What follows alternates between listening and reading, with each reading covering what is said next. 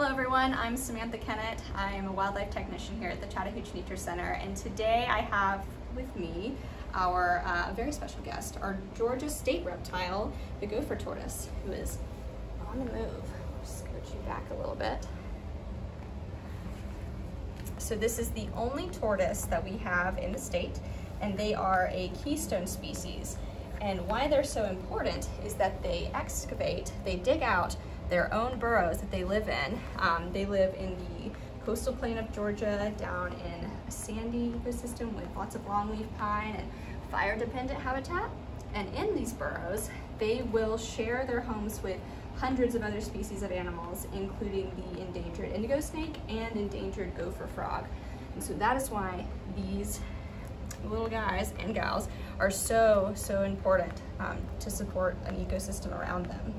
And so they dig their own burrows with these big trunky legs that they have and um, most of them will have, ours don't because of their special circumstances, but these long fingernails they use to excavate.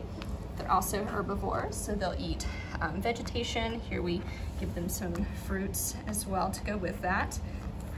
And this is a female gopher tortoise.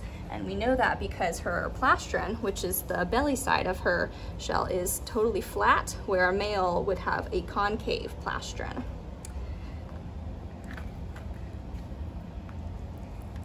She's on the move.